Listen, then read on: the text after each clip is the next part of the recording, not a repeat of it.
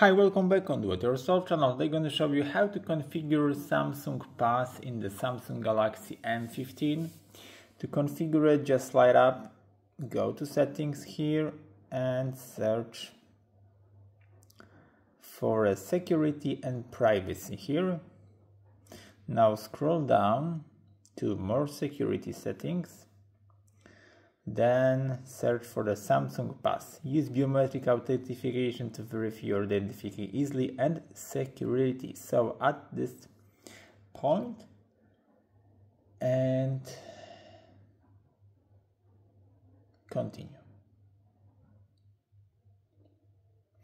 Be sure that you have to uh, log in in your Samsung account. I will explain that uh, in my last video how to do that.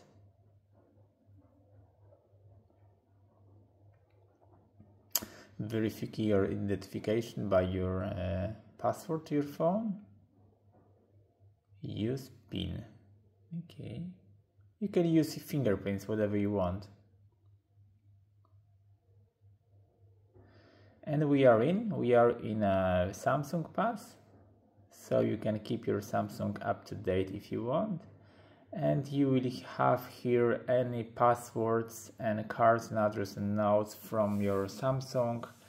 So uh, you will get your passport all in one application. So that's it for now. I hope the video is helpful for you. If yes you can leave like leave comment and leave subscribe and see you by next video. Hey